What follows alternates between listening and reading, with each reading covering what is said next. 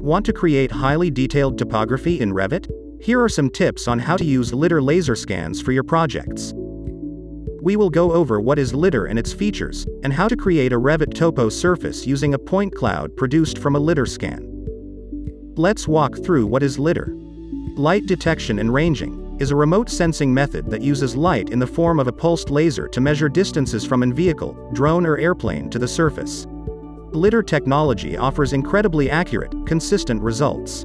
The short wavelength can go through forests and even detect small objects and create exact 3D models, making it possible to determine what the objects are, whether it's a tree, ground, water or buildings. What is more is that this data is freely available in most countries, including in Europe, in the United States and Australia. LiDAR is the perfect companion for BIM projects due to its three-dimensional precision, affordability and availability. Now let's see how to create topography using a LiDAR dataset. Let's start by opening the topography application by clicking the icon in the archi toolbar. Then browse and select a LiDAR point cloud file.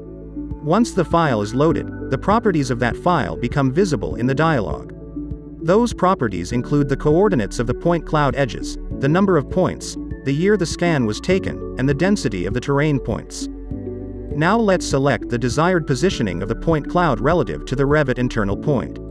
Usually a point cloud is defined in geographic coordinate system, but with Revit we use a local zero point to avoid modeling with large coordinates. We can choose to center the topography with the Revit internal point, or, in alternative, use manual coordinates for precise positioning the point cloud with the coordinate that corresponds to the Revit internal point.